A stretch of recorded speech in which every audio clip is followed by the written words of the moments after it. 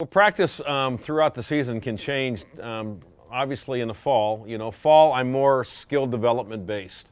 So we're not playing a lot of games, and so I really don't um, spend a huge amount of time preparing our team um, for competition.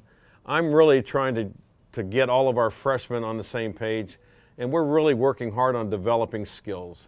Um, that's my time if I'm going to change a kid's swing or teach them a new, uh, you know, something different about um, the mechanics of the game, um, whether it's throwing mechanics, whether it's fielding, whatever it may be. That's the time to do it because it allows us to get repetition throughout that time. Once we get back in January, then now it's time to get ready for games. And so uh, from January till the beginning of February, our practices are the foundation of that is a lot of team defense, a lot of team offense, getting our pitchers, throwing the hitters, you know, all the little things that you have to do because, you know, in four or five days, we got another team coming in, sitting in this dugout, ready to play us. And so you want to make sure as a coach you've done everything to prepare your team. And that's why I like those checklists. You know, I have a offensive checklist, a defensive checklist. Maybe it's because my age, you know, and my memory's kind of bad, but I like to write things down. And that way, throughout the fall and spring, as I cover things, I know that I can check them off and make sure that something doesn't happen in the game and I'm going, oh crap, you know, we didn't cover it. And um, so I think, you know, if you look at our how we develop our players, the fall's pretty much skill development.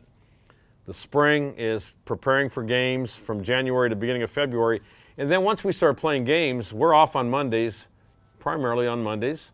Um, Tuesdays are kind of a light day. Wednesdays are kind of a review, getting ready for the next opponent, you know. And then um, Thursday, we're kind of zeroing in on what we have to do to, to compete against our opponent. We play Friday, Saturday, and Sunday, and that becomes pretty regular from February through June. Hopefully, we're playing the last game of the season in June in Oklahoma City. That's our goal. Um, but um, then the summer months, I like to give our kids a break. After we're done um, with our season, I tell them to get away from the game. Um, I think kids need to have a little rest and recovery.